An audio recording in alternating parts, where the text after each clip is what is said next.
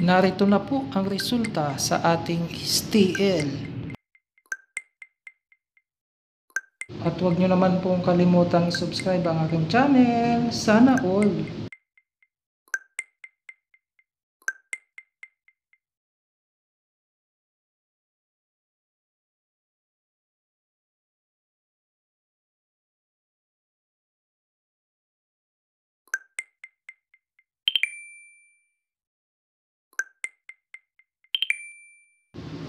Congratulations po to all the winners.